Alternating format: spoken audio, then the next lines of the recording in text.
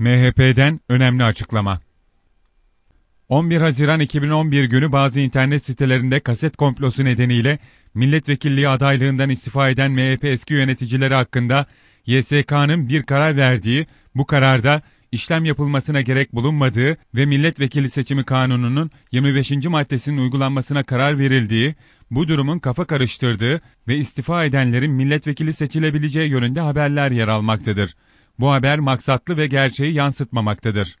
MHP yöneticisi olan 10 kişiden 9'u YSK'ya verdikleri noter istifanamesiyle milletvekilliği adaylığından istifa etmiştir. YSK bu kişiler için istifalarının kabulüne dair kararlar vermiştir. Kararda istifa nedeniyle ayrıca bir işleme gerek bulunmadığına 2839 sayılı milletvekili seçimi kanununun 25. maddesine göre işlem yapılmasına karar verilmiştir denmektedir. Milletvekili seçimi kanununun 25. maddesi aynen aşağı alınmıştır. Adaylıktan istifa ve ölüm. Madde 25. Aday listelerinin kesinleştiği tarihten oy verme günü saat 17'ye kadar ölüm veya istifa nedeniyle aday listelerinde meydana gelecek eksilmeler listelerin tamamlanmasını gerektirmez. Ancak aday listelerinde yukarıdaki nedenlerle boşalma olması halinde listedeki adaylar liste sırasına göre kaydırılmak suretiyle boşalan yerler doldurulur.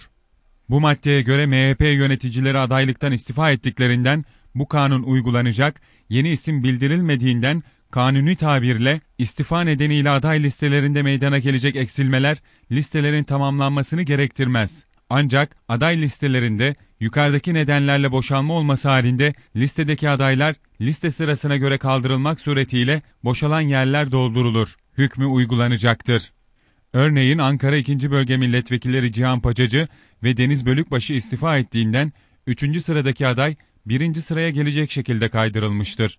MHP milletvekilliği adaylığından istifa eden Adana, Ankara, İstanbul, Kırşehir ve Samsun milletvekili adayı olan kişiler hiçbir şekilde milletvekili seçilemeyeceklerdir.